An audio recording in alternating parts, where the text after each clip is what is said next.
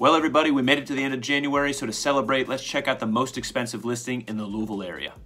This is the Cold Spring Estate. It was originally built by the Speed family back in 1867, right outside of the land that would eventually become Cherokee Park, which was built out in 1891. So this was absolutely the first house that was built in this area, which is now made up of the Bonnycastle and Highlands Douglass neighborhoods. And the Speed family likely owned a large portion of this area before it was subdivided into a park system and residential neighborhoods. Now this house is interesting because it's been modified a decent bit over the years. Back in 1911, the same family that built it added onto the home, nearly doubling the size of its original footprint and giving it the Italian villa style finishes that you still see here today. At that point, they also added the large carriage house just up the drive. Then in 2013, the property was bought by a development company who planned to update the entire property, but as you can see, they didn't quite finish it out.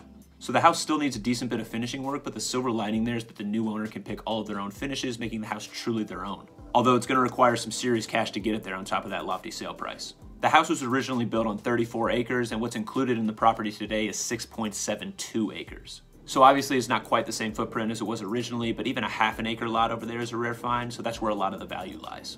But make no mistake, this place is 100% fit for a Bond villain.